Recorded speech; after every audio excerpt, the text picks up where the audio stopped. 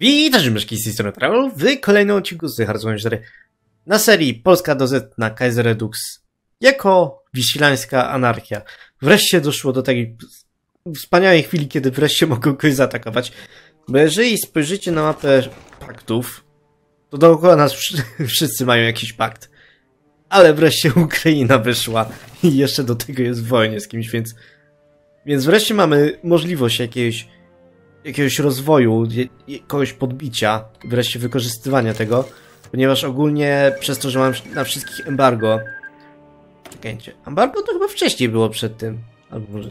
Już nie pamiętam. Ja już nie pamiętam, co dodawało każde. Wydaje mi się, że ten najnowszy nie tak dodawał embargo, bo to przecież rozwijał to. Więc czas wreszcie wykorzystać to. Yy, oni nie mają żadnych po prostu jakiejkolwiek gwarancji. Oni nawet jakby chcieli dołączyć są w wojnie, bo po głupi dołączyli. Ciekawe. Yy, I w takim razie rozpoczynam. Dlatego, że jak wiecie, ja uwielbiam przyjmować terytoria, a najbardziej uwielbiam przyjmować wolne terytoria.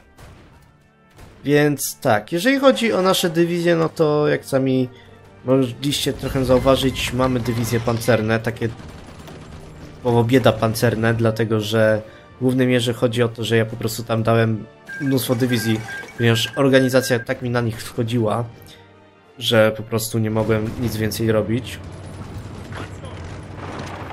I niech się tutaj zajmą tymi trzema dywizjami. Ogólnie rzecz biorąc raczej nie będzie przez większość czasu tutaj nikogo, z tego względu, że jak mówiłem, em, no są na wojnie. Oczywiście możemy tutaj zgodzić się na wszystko, na pewno to, ale nie zgodzimy się na wszystko. Dlaczego? Bo nam to nie jest potrzebne. Więc tak, ogólnie mamy, możemy doktrynkę morską zrobić, chociaż nie mamy nic morskiego, a ogólnie to, to możemy tylko chyba zrobić, a nie, możemy wreszcie zrobić, jeżeli yy, mamy jakieś wreszcie to, to w sumie nawet fajne, tylko że tutaj musimy mieć, mieć te, te jednostki, ale to w swoim czasie zrobi.